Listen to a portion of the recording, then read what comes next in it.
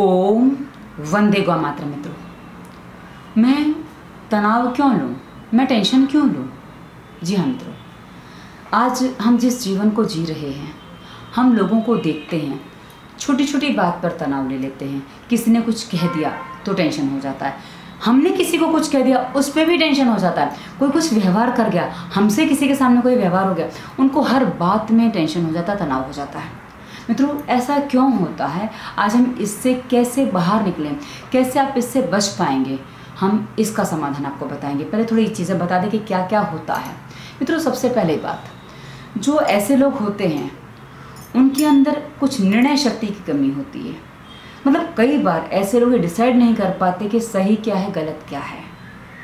जब कोई कुछ कहता उसमें भी डिसाइड नहीं कर पाते और अपन जब हम कुछ कहते तो भी डिसाइड नहीं कर पाते। मतलब दोनों तरफ़ से तय नहीं कर पाते कि सही और गलत में अंतर क्या है। तो इसमें आपको बता दूँ तो सबसे पहली जो कमी होती है, इनकी कॉन्सेंट्रेशन यानी कि एकाग्रता की कमी होती है। मतलब ये किसी विषय के बारे में ज़्यादा सोच नहीं पाते, समझ नहीं पाते तो अक्सर इनको हर बात पे टेंशन हो जाता है। अब जैसे कोई कुछ कह के चला गया, माना कि मुझे कोई चोर कह के चला गया। अब मुझे इसी बात का टेंशन हो गया कि उसने मुझे चोर क्यों कह दिया? मैं तो चोर नहीं हूँ। अब मैं चोर नहीं हूँ, ये साबित करने के लिए मैं एड़ी चोटी का ज़ोर लगा दूँ, पर मैं उसके सामने साबित नहीं कर पाती कि मैं चोर नहीं हूँ। वैसे ही और भी चीज़ें, हम एड़ी चोटी का ज़ोर लगाते हैं, हम साबित नहीं कर पाते कि भाई ये ऐसा ही है। कभी कभी कर भी लेते हैं, पर उसके लिए हमें बहुत मेहनत करनी पड़ती है और फालतू की मेहनत करनी पड़ती है। मित्रों, इसमें दो बातें मैं आपको बताऊँ। यदि किसी ने मुझे चोर कहा तो मुझे टेंशन क्यों होना चाहिए? क्योंकि यदि मैंने चोरी की है तो उसने सच बोला तो मुझे टेंशन क्यों हो? उसने गलत तो नहीं कहा। दूसरी बात, यदि मैंने चोरी नहीं की है और उसने मुझे चोर कहा है तो मुझे टेंशन क्यों होना चाहिए? क्योंकि मैंने तो चोरी की नहीं, उसने तो चोर को बोला है। पर हम इतनी सी बात को सोच नहीं पाते, समझ नहीं पाते।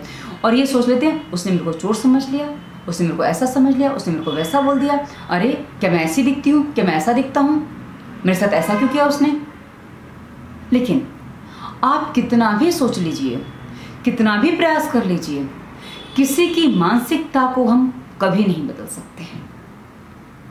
और ये तब तक नहीं बदल सकते जब तक वह व्यक्ति बदलना ना चाहे। आप बोलते हैं कि हम उसको कुछ दिखाएँगे तो मानसिकता बदल जाएगी। क्या आपकी मानसिकता कुछ दिखाने से, कुछ करने से बदल गई है? नहीं बदली ना। तो सामने वाला भी मनुष्य ही है, हमारी तरह। उसकी मानसिकता भी जब तक उसको अपनी समझ में नहीं आता, अपने तरीके से समझ में नहीं आता, तब तक उसको समझ में नहीं आएगा, तब तक उसकी मानसिकता नहीं बदलने वाली है। आप कितने भी प्रयास कर लीजिए ये जल्दी संभव नहीं हो पाता है। तो अब आपको क्या करना चाहिए? आपको साबित नहीं करना है, क्योंकि साबित करने में आप दुनिया भर की हजामत करेंगे और खुद को टेंशन दे के बैठ जाएँगे। आप चुपचाप बैठ जाइए। बोलेंगे, इससे गलत फहमी कैसे दूर होगी? नहीं कर सकते। जब समय आएगा, कुछ बातें आएँगी, वो हो जाएगा। यदि आपको ऐसा लगता है कि हम गलत फहमी दूर नहीं करेंगे तो दूरियाँ बढ़ती जाएँगी।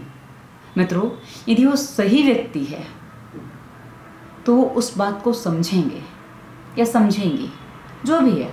क्योंकि होता क्या, जब कोई आरोप लगाता है ना, उसकी अपनी सोच होती है वो। पर यदि उसमें आपका व्यवहार कुछ बदल जाता है तो उनको पता चलता है कि व्यवहार क्यों बदल गया है। अब उसमें दो बातें सोच सकते हैं कि या तो उनकी चोरी पकड़ी गई, इसलिए व्यवहार बदल गया, या आप सही हो, इसलिए व्यवहार बदल गया। दोनों बातें हो सकती हैं। पर जिसकी जैसी बुद्धि होगी, वो वैसा ही सोचेंगे। इसलिए इस जगह तनाव लेना, ऐसे आरोपों पर कि हम तनाव अक्सर आरोपों पर ले लेते हैं। तो ऐसे आरोपों पर तनाव लेना व्यर्थ है। कोई कुछ कह के चला गया, सुना के चला गया, कुछ करके चला गया। ये उसका कर्म है, उसने किया। हमारा कर्म क्या है, वो हमें करना होगा। यदि मैं उस पर तनाव लेके बैठ जाऊँ टेंशन लेके बैठ जाऊँ तो मैं कभी जीवन में कुछ सही काम नहीं कर पाऊँगी। और यदि मैं उससे बाहर निकल के कुछ आगे की सोचूं, कुछ आगे का करूँ तो शायद मेरे जीवन में कुछ बहुत अच्छा और और अच्छा हो सके। क्योंकि हम कभी कभी बुरा मान के बैठ जाते हैं तो गड़बड़ है। और हम बुरा, ऐसा बुरा लग जाता है कि हम उसको सफ़ाई देने लग जाए तो भी गड़बड़ है। दोनों ही बातें हमारे लिए, अपने लिए और हमारे संबंधों के लिए गड़बड़ है। इसलिए कभी भी ऐसे प्रयास ना करें, इसमें आप अपनी एनर्जी वेस्ट करेंगे, कुछ नहीं करेंगे एनर्जी वेस्ट होगी आपकी। और सामने वाले को कोई फ़र्क नहीं पड़ेगा। यदि पढ़ना है तो जो हमने बताया, मन हो जाइए, पढ़ जाएगा।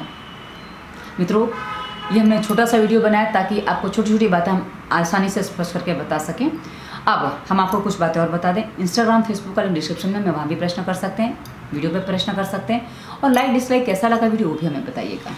धन्यवाद, वंदे मातरम।